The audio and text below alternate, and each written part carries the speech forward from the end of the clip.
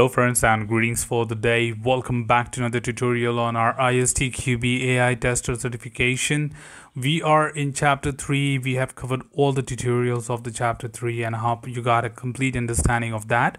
And now today we'll be looking into a few sample questions from this particular chapter and trying to understand what does it really take to get to the right answers when it comes to machine learning fundamental concepts. The very first question what we have for you is which of the following statements best describes the classification and regression as a part of supervised learning.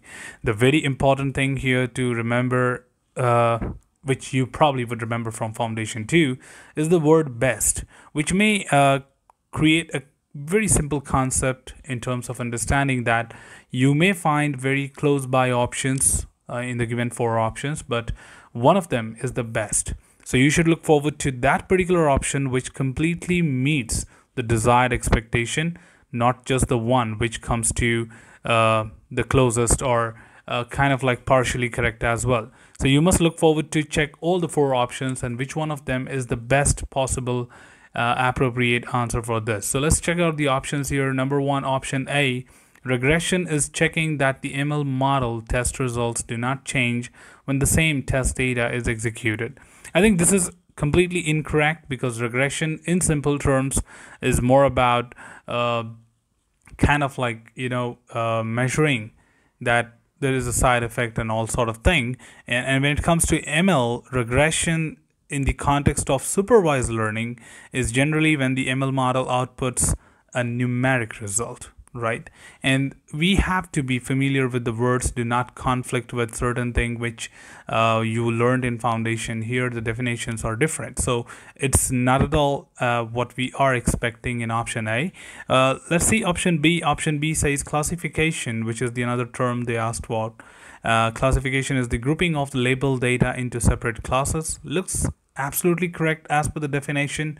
And here we don't need any justification because these are very straightforward definitions.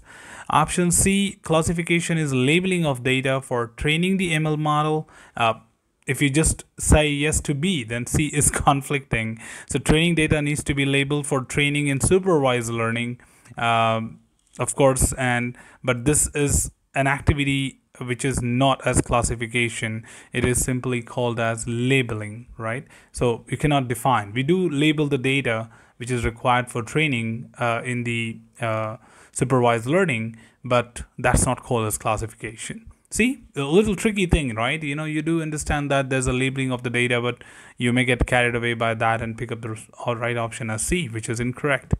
Let's go with d also in cross check uh, regression is predicting the number of classes that are output by the ML model. And I think that's also incorrect because regression is when the output from ML model is numeric and the output here is number of classes which is not correct. So I think that was very straightforward question and the right answer here is B. Classification is the grouping of label data into separate classes which is the only appropriate answer. There's nothing true about regression here. So you have to pick the option B. Taking up the next question, it says again, which of the following option best describes an example of reinforcement learning?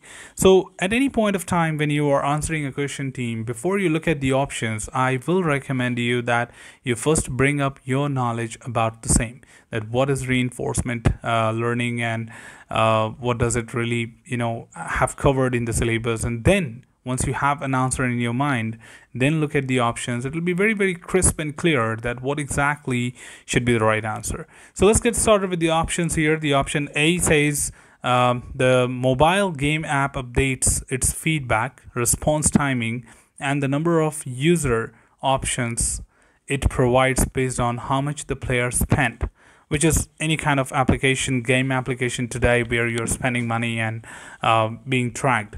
So uh, it, it looks absolutely correct because reinforcement learning is uh, all about capturing those uh, real-time data and uh, and forcing the system to do behave according to that.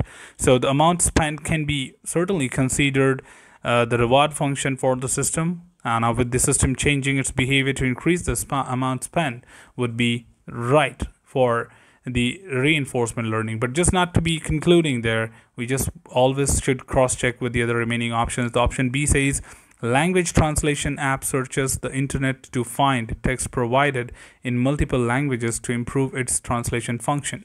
Now that looks quite similar too, right? It, looks absolutely fine with the reinforcement learning that the um, language translation app is, app is trying to check the internet with several other words in different languages to be more appropriate or accurate in responding back to the next audience. But what's wrong here? The app is using text in what can be considered as a source of language and a correct translation of the source.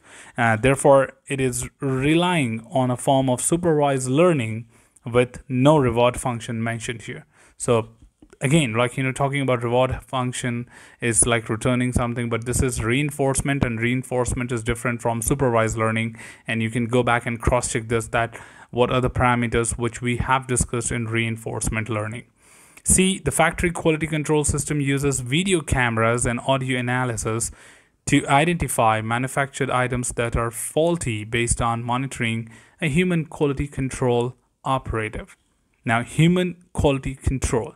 That means someone is manually trying to run that, and the system is using human quality control here, which is operated by a human being as a form of gold standard. So it is relying on form of supervised learning again right? Because someone is trying to feed and and that is something which is supervised. So this is unsupervised learning when you say reinforcement and that certainly uh, does not involve any kind of uh, uh, human being involvement or supervised learning concept. D the software component test predictions uh, predicts uh, prediction system uses a range of quality measures to identify which components are likely to contain the most defects. Now that also sounds really incorrect. The reason is there is no suggestion that any reward function is being used in the system, at least with the option B and C you had few options there for the reward but here you do not have anything instead it is most likely that the prediction system based its determination of defects on the past experience which is more of like uh, defect taxonomy where we have pre-feeded information which takes it back again to the supervised learning system itself. So to be frank uh, this, this is what you need to do when you try to solve a question and spend some time quickly to uh, discuss with yourself that whether uh, what should be the right answer and uh, why the other option should not be correct. Justify yourself not just the just the right answer, but also the wrong options should be justifiable. That why do you think it is incorrect? So the right answer here is A. The mobile game app updates its feedback, response timing, and the number of user options it provides based on how much the player spends. Moving on to the next option, which is option uh, question 3 uh, here it says when performing testing of a trained model, an ML engineer found that the model was highly accurate when evaluated with validation data, but that is performed poorly with independent test data. Now, which of the following option is most likely to cause this situation? So again, uh, we have to go back to our concepts to pick up the right answer here. There's no justification really needed to come to the conclusion. And uh, we are very, very pretty much can see the right answer right there. But still, we have four options for you. Underfitting, concept drift, overfitting, poor acceptance criteria.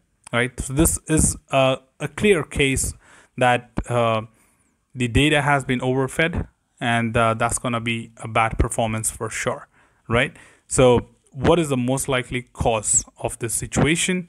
The option a underfitting uh, of course the model performs well in validated data so it's not lacking or starving the required information. So that's absolutely fine so that should not be a problem at all.